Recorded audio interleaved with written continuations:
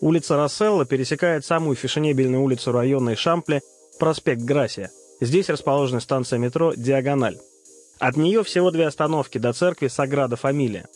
Обратите внимание на то, что большая часть станций барселонского метро построена по схеме с боковыми платформами. Ну, то есть поезда ходят в центре, а платформы по бокам.